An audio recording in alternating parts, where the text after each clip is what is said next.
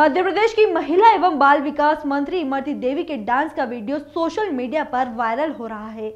मुझको राणा जी माफ़ करना, गाने पर मंत्री नाच रही है। वीडियो पारिवारिक शादी समारोह का बताया जा रहा है।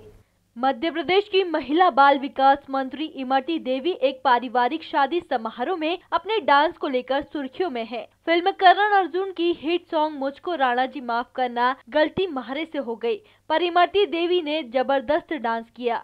यह वीडियो सोशल मीडिया पर खूब वायरल हो रहा है।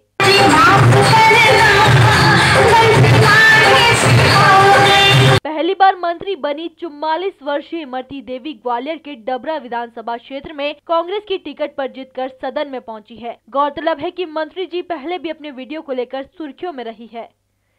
Bureau report Khabarbar news, Gwalior.